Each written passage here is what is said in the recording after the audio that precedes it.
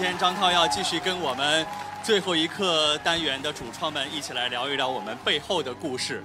呃，大家看到谁了？啊，姗姗来迟的俊凯啊，先给大家我说怎么人突然变多了？先给大家解释一下，俊凯呢，呃，是因为今天飞机晚点了，但是他还是一路舟车劳顿，用最大的力气、最快的速度赶到了我们的现场。大家再一次把掌声送给他好吗？很不容易。谢谢大家，谢谢大家，不好意思，耽误大家时间，不好意思。没关系，值得等待。呃，俊凯昨天晚上也去担当了金鸡百花电影节的主持人的工作啊，主持下来感觉怎么样？呃，我觉得结束的那一刻真的是非常圆满，所以昨天的工作对于我来讲也是一个突破吧。嗯，突破啊、呃，我们在他乡来认识一位老乡哈，我也是重庆人。啊，你好，你好，你好重庆崽儿哈。呃，我相信喜欢俊凯的观众朋友这几年一定是看到了俊凯的成长和进步哈。从最早的唱跳歌手，到后来参加了很多的综艺节目，到现如今多期发展，还担纲主持人，而且现在我们在荧幕上也看到他越来越多的一个出现。那接下来是不是有一些呃想法，要更多的往影视方面去发展？呃，就是因为自己本身对于影视也是很感兴趣嘛，然后呢，也是通过不断的拍摄，让我觉得对于拍摄影视方面的东西会让我有一种新的体验感。嗯然后呢，也是在学校学习表演系嘛，所以说之后可能也会去多拍一些更好的作品回回馈给大家。对，真好，期待你更多的影视作品谢谢大家。这一次在咱们最后一刻的这个单元里面饰演的是一个什么样的角色？呃，这次在最后一刻里面饰演的人物叫做江小凯，他是一个回乡的一个用高科技去养殖蜜蜂的一个养蜂人。对，啊、那是头一次跟咱们徐导合作吗？对对对，第一次跟导演合作。嗯，感觉怎么样？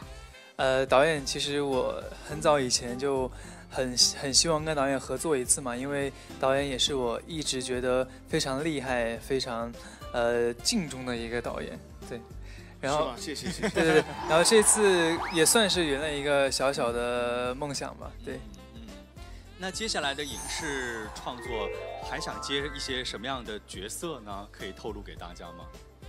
呃，其实我一般都是看到剧本才会觉得对于就是有什么化学反应。嗯，对有特别想演的角色吗？趁趁导演还在现场，万一下一部电影呢？对吧？那跟导演合作，自然就是看导演的想法。看导演的想法。对对对，嗯，徐导第一次跟俊凯合作下来，感受怎么样？呃，其实还我还挺出乎意料的，啊因为因为我我本来以为就是。呃，很多偶像就是转到这个演员来，就是说一下子要演喜剧，呃，其实还担心有没有偶像包袱什么的。没想到我们第一天大家坐在一起对词儿，我就发现这个凯凯一下子就是特别撒得开，而且你想想看，我们剧组里面我们刚才提到的四个东东北演员都在那儿学那个浙江话，然后我觉得凯凯瞬间就融入了，跟大家一起啊，也是 也是这种，哎，我就是我说要把自己恢复掉嘛，哎，就是那样的。所以我觉得这个这次预告片里面也专门把这个镜头给剪进去了。我我觉得凯凯这次还是有突破的，虽然呃这个戏的这个分量，我觉得完全没有就是让。凯凯能够满足啊，就是凯凯肯定想，就如果能多演一点就好了。但是我相信，呃，以后如果再碰到这样的这个喜剧的这种类型，我觉得凯凯肯定就不会害怕了啊。对，嗯，对，有了第一次就不怕第二次了嘛。对对对对嗯，那嗯，凯凯在这一次的拍摄过程当中有没有印象或者说特别深刻的一次，嗯，一刻？呃，印象最深刻的应该就是我们回归，就是最后九二年那堂课的一个镜头嘛，因为是一个长镜头。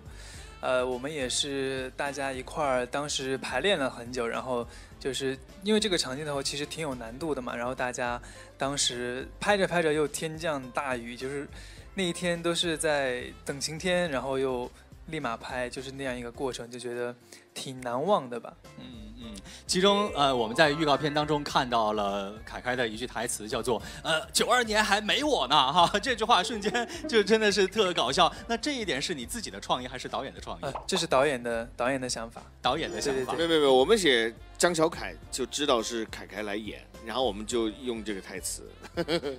非常好，非常好，这个点特别的棒啊！呃，刚刚说到了，呃呃，俊凯是重庆人，咱们今天整个的首映礼其实都跟家乡有关系。呃，如果说要请您为我们的家乡重庆做代言的话，来宣传宣传，你会怎么说？就是重庆也是个好地方嘛，嗯，山好水好，人好，吃的也好，吃的也好睡的也好，什么都好。对，大家都来逛一逛、玩一玩什么的，什么都好，就是欢迎大家去看一看，去去我们重庆走一走，去感受一下哈。呃，浩林，哎，我非常喜欢你的表演。就去年咱们的那个《我和我的祖国》里面那个夺冠哈，你的那个哭戏，我真的我自己流了好多次眼泪。呃，这一次是不是还是准备让大家哭？呃，这一次，嗯。也是的，也也一样，也也一样，也有点。这次浩林也有哭戏，也有哭戏，也有哭戏。嗯嗯，浩林现在是多大了来着？呃，我今年十一周岁了，而且那个明天正好是我的生日。哦，明天是浩林的生日，哎，我们一起祝他生日快乐，好不好？来，三二一，生日生日快乐，生日快乐，生日快乐，茁壮成长。浩林，我印象特别深。去年的此此刻，嗯，我们在宣传《我和我的祖国》，也是浩林就是过生日，太巧了。然后那一天正好是女排再一次拿到一个冠军，哇，啊，对对对对对，太巧了，太巧了。哎，十一岁现在还小哈，现但不过现在就已经有很多的呃优秀的作品和好的口碑了。以后长大了是不是就想走这一条影视的道路？其实我未来想跟徐峥导演一样，可以。呃，自编自导自演，然后我那个前几天正好在那个构思一个剧本出来。哇，自己这么小就开始构思剧本了啊！你构思了一个什么剧本？方便透露吗？这个呃，反正就是讲一个病人的一个故事啊。反正他得了一种绝症嘛，就是他要完成他最后的一个愿望。呃，其实跟呃，其实之前也有类似的一个题材。好的，你可以开始写剧本了啊，好吧啊，我们期待你现在的这个天马行空的想象，最后真的能够出一个很完整的剧本出来，让大家一同去欣赏啊。嗯，徐导这一次跟这个浩林合作下来，你觉得他还有哪些地方有进步的空间？呃，浩林一直在这个呃这个小朋友的演员里面非常的这个优秀，然后。这一次呢，跟上一次这个有点不同，因为上一次其实几乎是一个动作戏，这个浩林有很多这个动作上上下下，这一次就是没有那么多动作，浩林完全是一开始就是坐在那里是一段文戏，而且是蛮激情的那个，所以要他一下子这个调动起来。然后，然后我发现浩林来了以后，像一个专业演员一样准备的很好，问我导演我要不要说方言 啊？感觉剧本也准备好了，角色也已经琢磨好了，就是那样子。那我说反而不要，我说浩林，我现在要要你回到那个小朋友的那个状态去。所以浩林再重新再找回状态，但是他他很快又找到了新的状态那样子啊。就是我每次一玩，那感感觉一一下子就回到小孩的状态了。对，非常好。对他就是平时采访的时候、拍照的时候，他都跟个老干部似的，你知道吧？他真的有那种少年老成的那种感觉哈，包括他说话的那种语气，都都特别的成熟。就和他们两位在一起，我是可以每时每刻感觉到他们的这个成长。我每次凯凯每次来，我见到他的时候，我我就觉得他又长大了，而且这个变化很明显。哎，如果就上次拍完了以后，后来回来补拍，我觉得这个凯凯要长大。这这次看到他又不一样，觉得啊，这这这长得很快。可能呃，包括像今天没有来到现场的杨紫，她也有参与，就是咱们这一部分的演出哈。对，像这些青年演员，杨紫没那么明显。没，我看到杨紫一下子又长得太快，杨紫该不高兴。对，女生不要长那么快，慢慢长。对对，也不过已经出落成一个大美女了啊。好，那接下来这一部分呢，我们要请上的是互动嘉宾，来，让我们掌声有请富文乡中心小学校长姜卫颖和他的学生们一起上场，来跟我们台上的主创一起进行互动。姜校长您好，校长您好，您好，您好。你好，来，来，我们舞台中间有请。来，江校长，您做一个自我介绍吧。好，嗨，大家好，我是富文乡中心小学校长姜卫颖。欢迎江校长。您好，您叫什么名字？周周。Hello，大家好，我是富文中小六年级的学生周子林。子林，欢迎。大家好，我是富文中小六年级的学生方宇浩。你也六年级？啊。一看你就是胖头鱼吃少了。您看这个儿，啊，多吃点胖头鱼，加强身体锻炼，好不好？嗯。呃，今天我们的校长和二位同学哈来到我们的舞台上，其实也是带了心意过来的。那在送礼物之前，咱们还是有一个简单的一个互动啊，我们和台上的几位主创一起来完成，它叫同声传译。来，我们请工作人员上道具。这还不少游戏呢哈。对。我们就是热热闹闹的就把这个手印那就先先不要让别人看到，对，先不能让这个我们的对猜猜的嘉宾看到了。对，我们先把耳机戴上啊。等一下，等一下，等一下啊！来，每人戴一个耳机。然后呢，这个提词板上呃有一些话，选一句，我会选一句。您会选一句说？我选一句话呢，然后告诉第一位这个小朋友，然后一点点点的往下传。对，最后是韩浩林，好吗？呃，最后是俊凯，王俊凯。啊啊，俊凯吗？啊，俊凯，就是 王俊凯，那你惨了。哎，有音乐吗？我看一下他们这个耳机里。这耳机里面有没有音乐？刚刚突然断了，我这个。啊。没有音乐，好像没有音乐。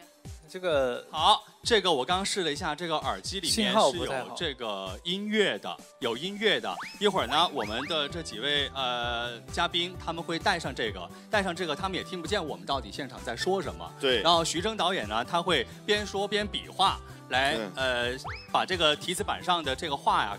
传递给他们，然后他们一个一个的传递下去，最后到俊凯那儿，到底会变成什么样子，我们也不知道啊。现在啊，都带好了，都带好了，好嘞。好，凯凯凯听得见吗？我们先让他们先。我这个一会儿断一会儿有的。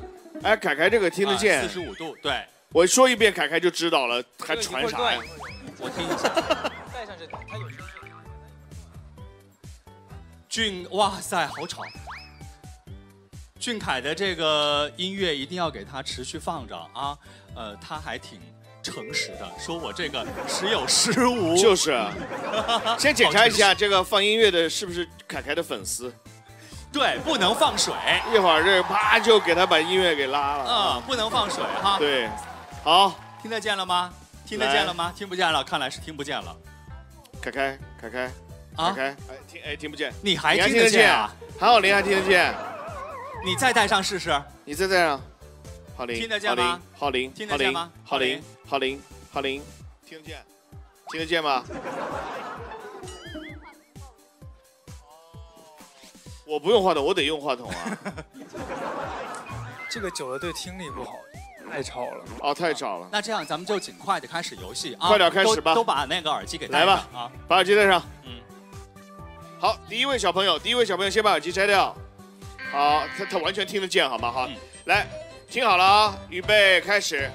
我就说我们有没有可能参考这张老照片，恢复出来一堂课，来帮助范老师解决问题嘛？好。天哪！请你把这句话重复给第二位，来。我就说嘛，我有没有可能把这本老照片恢复成一堂课？来了，也是一脸懵。我就说嘛，我可以把这张老照片恢复成一堂课。好了，我就说嘛，我可以不可以把这张老照片恢复成一堂课？是要取了耳机说，那这个这个直接让我取了，徐峥老师跟我说不就好了？是我我取，你要听浩林告诉你的。啊好，我就说嘛，我们能不能根据这张老照片恢复出来一堂课？哎 这直接完了吗？这就是这句话吗？好像对，啊，就是重复一下吧。呃，我就说嘛，我们能不能根据这一张老照片去恢复九二年？哎，去恢复范老师九二年那最后一堂课嘛？哇，俊凯给补充了，这个是玩这个传话游戏最失败的一场。我也觉得，怎么是这种？他们因为他们都知道剧情的内容，他们只需要他们只需要听到一点点恢复老照片的这个，就能够脑补整个这句话了。哎这个是咱们电影里的台词，是对吗？对对对哦，那咱们这个难度系数有点过于简单了。是的，是的是吧啊导演但那一场我没在，我没听过那一句台词。对，但是因为因为呃校长还还原的非常好，对他帮他把环逻辑补充清楚了。嗯，而且到你这儿你也说的特别好啊啊，呃，校长江校长今天来到现场，其实也是带了礼物过来的，要献给主创是吧？是什么礼物？咱们先拿上来好不好？好的，好的。好，来，先把江校长的礼物先给拿上来。哇哦，哎呦这个是我们的海报哈，嗯，行，呃，这个是应该是彩泥做的是吗？对啊，你你告诉一下大家，这个是粘土做的，啊，为为什么想要创作这样一幅画送给徐峥导演呢？呃，第一点呢，是因为这个电影有一部分是在我们学校取的景，就相当于是给我们学校做了一个宣传，然后我们的同学都很开心、很骄傲，然后就想做一个礼物送给剧组来表示感谢。然后第二点就是，这样的话就可以把我们千岛湖的美分享给更多的人了。哦，真好，来徐峥导演，您收下。感觉这个可以吃哈。你你怎么什么都吃？来到千岛湖了就只知道吃。好吧，好吧，好吧。嗯，那徐导，咱们还是回馈礼物给我们的校长和孩子们，好不好？好的，好的。来，我们也把礼物拿上来。我 我们的礼物稍微单调了一点，点。没事儿，心意最重要。来，我们还是请徐峥导演对，把礼物来给到我们的校长们一个和孩子们。的这个 T 恤。嘿，好的，谢谢，谢谢，谢谢。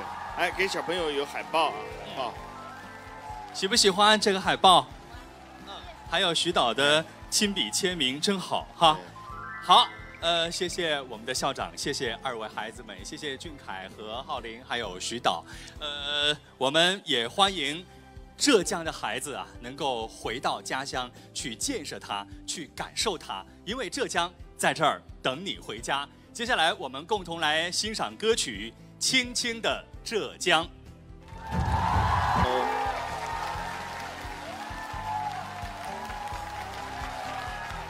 哎，我们要招手，现在有可能北京就能看见我们。朱欣姐能听见我们吗？我们这里是千岛湖分会场。嗯，嗯，这样我们再请千岛湖分会场的各位电影主创和我们北京的电影主创以及电视机前的观众朋友再打个招呼，好不好？来，从徐峥导演开始。Hello，大家好，我是徐峥。大家好，我是演员张译。Hello，大家好，我是卢靖姗。大家好，我是演员陈数。大家好，我是演员韩浩林。大家好，我是王俊凯。你们好吗？北京主会场的各位。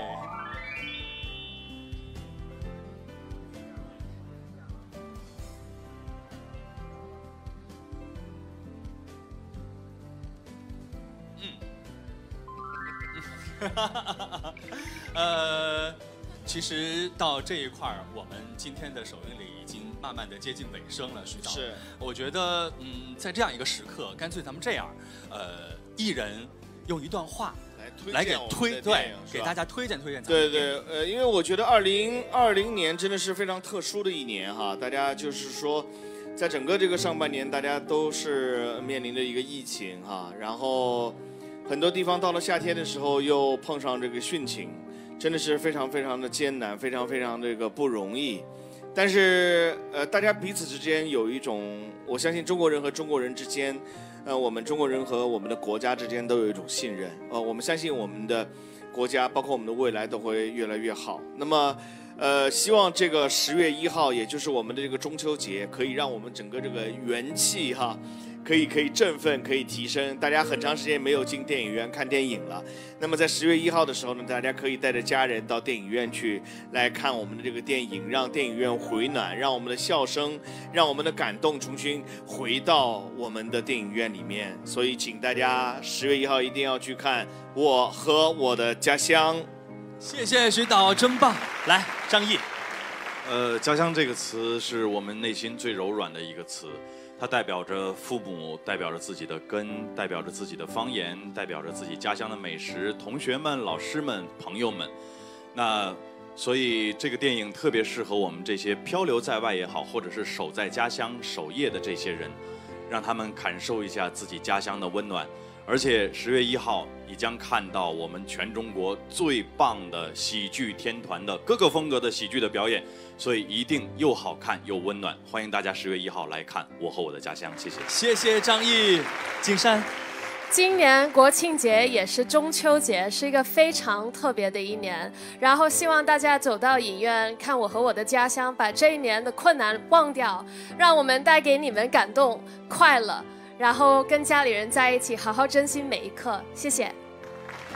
来，在这里，我特别想奉上很多的祝福，祝福我们的祖国繁荣富强，祝福我们的家乡越来越美好，祝福朋友们平安喜乐，愿大家一切都好。谢谢陈叔，来，浩林。我希望大家看了《家乡》这部电影之后，可以把一切的烦恼忘掉。然后去以最新的面貌去迎接每一天。呃，家乡有我的家人，有嗯各种各样你喜爱的事物，所以我希望大家可以去呃电影院里观看《我和我的家乡》，回忆家乡。谢谢。来，俊凯。这浩林讲这段话，感觉他比我还要年长。我就跟大家推荐一下我和我的家乡嘛，因为讲家乡嘛，我就用我重庆话，我是重庆人嘛，就给大家推荐一下我和我的家乡好看惨了，大家都要排队去看，排队去电影院去看那部非常棒的电影。谢谢大家。哎，我觉得用家乡话来宣传一下，这个方式挺好的耶。呃，徐导用上海话来推荐一下吧。我们我们开启我们宣传的第一站就去了这个重庆，我们一到重庆就扎到那个火锅店里去了。啊，呃，所以让我用上海话说的话，呃，大家等了十月一号，还是国庆节还是中秋节，一定要带好屋里向的人，自家屋里向的亲眷朋友一道到电影院去看我，他是我的家乡。嗯，呃，好像大概的意思就是在国庆节、中秋节的时候，和家人一起去到电影院去。这个不需要翻译吧？应该都能去去支持。呃，反正我 我怕。我就听懂了“家乡”两个字，是吧？来，张译，哈尔滨话。其实哈尔滨话没有什么特别大的这个，跟普通话太对太像了，太像普通话。所以我用大东北的方言。好嘞，我和我的家乡老好看了，老好看了，一定要去看。嗯，贼棒，粤语了，哎呀。好犀利啊！大家好，十月一号系我哋嘅国庆节，亦都系中秋节。希望大家可以一齊誒去电影院支持我和我的家乡》，将今年所有嘅烦恼忘记佢，将快乐同埋感动带俾你哋。多谢晒！哇，好好听，好好听！诶，徐導，這個需要翻译一下吧？啊，這個呃好，你翻译吧。这个就是也是欢迎大家去到电影院支持一下，啊，来陈述。我和我的家乡很好看，去看噻。去看噻。嗯，一句话，好嘞。大家好，我是安奥玲，是我最得走进英语梦电影《我我的家乡》。好的，不同地方的语言其实都汇聚成同一个祝福。现在我们再一次来连线北京。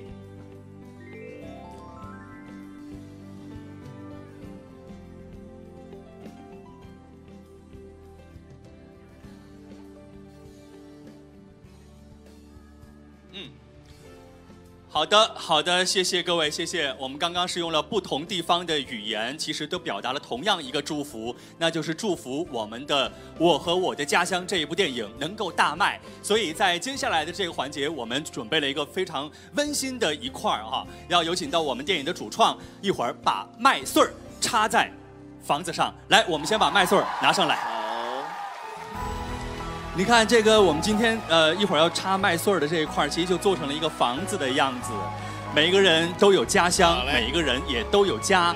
让我们把爱播撒在家乡的热土上，把爱放在自己的家里。哇！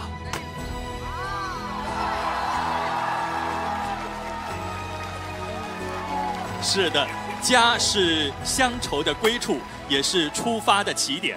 我们期待这部演绎家乡情节与热土情怀的电影，能够在国庆期间为全国人民送去感动和欢笑，也让我们在光影的故事里去感受百年梦圆小康的美好。让我们再一次把掌声送给各位电影主创，也预祝《我和我的家乡》这部电影票房大卖。谢谢大家，谢谢谢谢谢谢。谢谢各位，各位现场还有网络直播端的网友朋友们，我们今天电影《我和我的家乡》千岛湖分会场的首映礼到这里就要和您说再见了。祝福大家能够度过一个愉快美好的国庆节、中秋节，也希望大家在十月一号和自己的家人走进电影院，去为这部电影助力，为家乡建设出力。再会，再见，谢谢，再见，谢谢，拜拜，谢谢，谢谢，谢谢，谢谢，谢谢。